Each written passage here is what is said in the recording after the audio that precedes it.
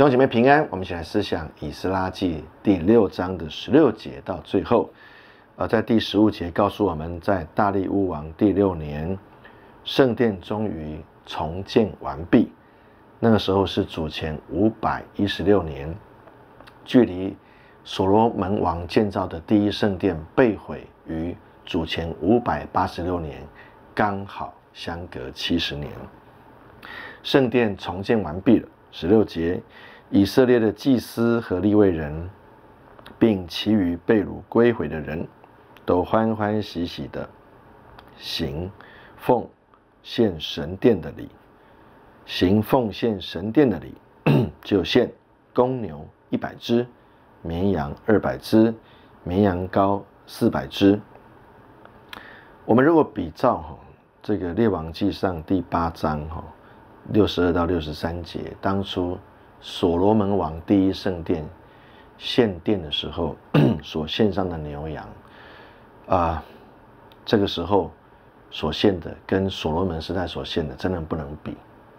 不及他的两百分之一的牛羊数目，因为归回的以色列人真的数目很少，大概五万人左右而已，而且呢，啊，他们整体上来讲。啊，虽然有相当多人算是相对富有的以色列人归回，但是因为人数太少，而且长期又受到撒玛利亚人的打压，所以总体的经济实力真的是无法跟以前所罗门王时代来相比。整个一个经济的实力只有两百分之一的实力而已。但是他们虽然啊是这么的不足。但他们却是欢欢喜喜的来行奉献给神的殿的这些礼物。今晚我们继续看，他还献公山羊十二只，为以色列众人做赎罪祭。公山羊献十二只，就代表十二支派。虽然这一次归回的百姓大部分都是南国的百姓，但是他们仍然啊。谨记，包含先知撒加利亚对他们的预言，就是神要再一次使南北合一起来，重新归于一位大牧人，重新归于一位弥赛亚。因此，他们虽然啊人数少，而且十二支派也不齐全，但他们仍然献了十二只公山羊做赎罪祭。十八节，且派祭司和立位人按着班次。所谓的班次指的是啊，例如历代至上二十四章第四节，大卫王啊给这些立位人祭司分成二十四个班次，让他们啊按着次序可以来到圣殿来供职。因此，按着班次在耶路撒冷让祭司跟立位人可以侍奉神，都是按照摩西律法书上所写的。外在的圣殿建造工程。能够完工很不容易，但内在的与神的关系的重建更不容易。特别是以前为什么会弄到国破家亡，外在的圣殿被毁呢？就是因为他们内心不愿意遵行神所吩咐的神的律法，因此好不容易被掳归回了。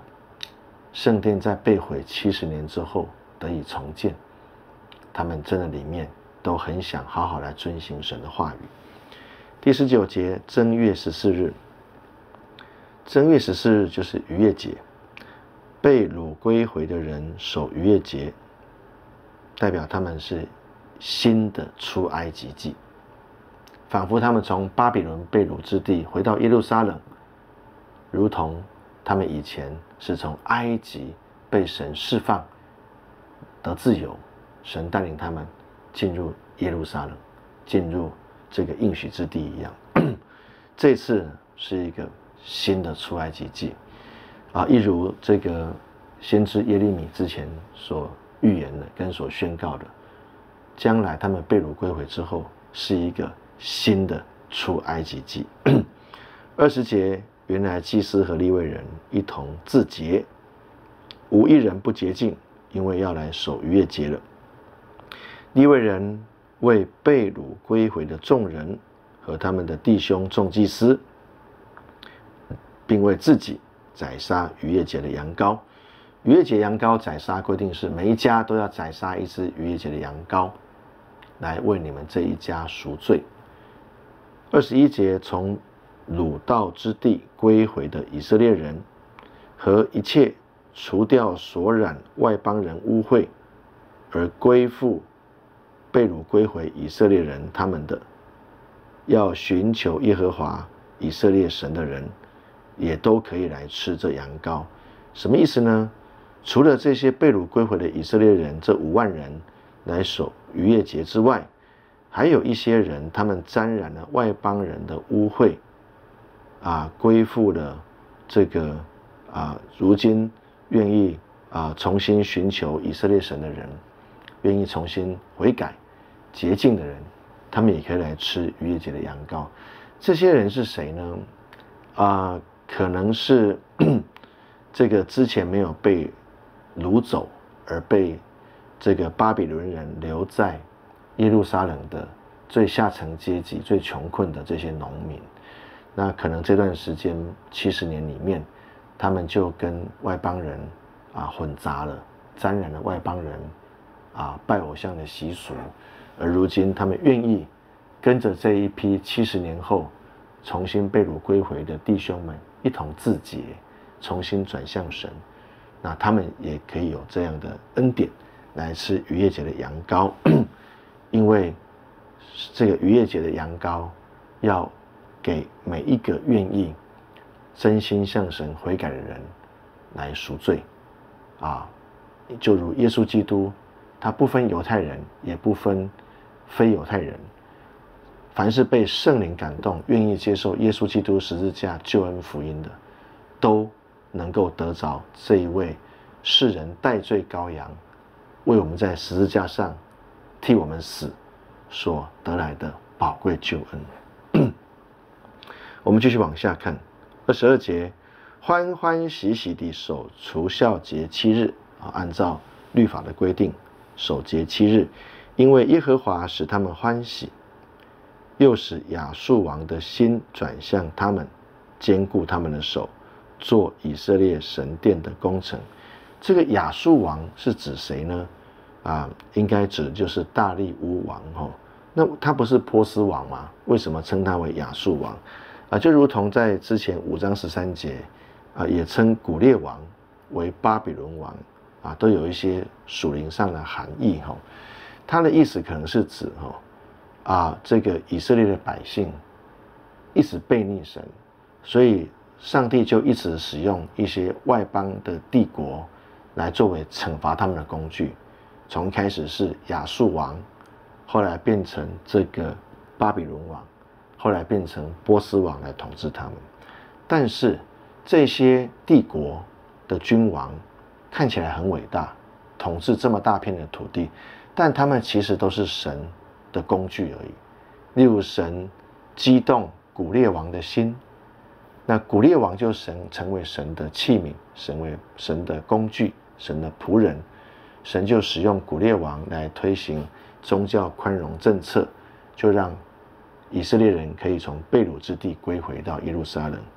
所以呢，啊，这个这边提到说，大利乌王很像这个亚述王，代表他也是一贯以来亚述、巴比伦、波斯这些王，他们都是神手上的工具和器皿，或是管道。若是神悖逆，神的百姓悖逆不听。不愿意悔改，上帝就使用这些王来刑罚，像棍子一样来刑罚上帝的儿女。但是当百姓愿意悔改归向神的时候，上帝就使用这些王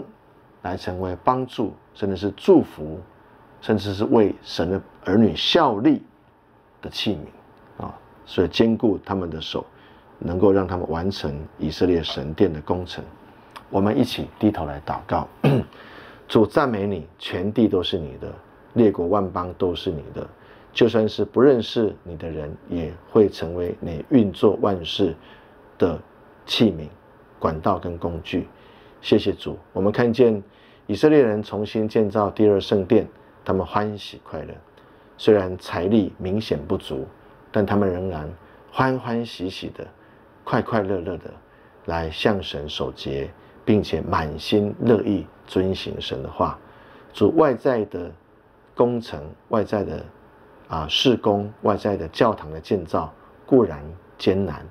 但更可贵的是我们内在与神的生命的关系的重建，更是宝贵，更是关键。谢谢主，求主祝福我们，在你面前愿意遵循你的道路。奉主耶稣的名祷告，阿门。愿神赐福大家。